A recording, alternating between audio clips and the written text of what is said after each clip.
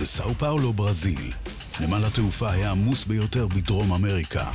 פושעים ינסו להסתתר, אבל לא משנה אם הם שקרנים טובים או כמה התחפושות שלהם מתוחכמות, הם ייתפסו.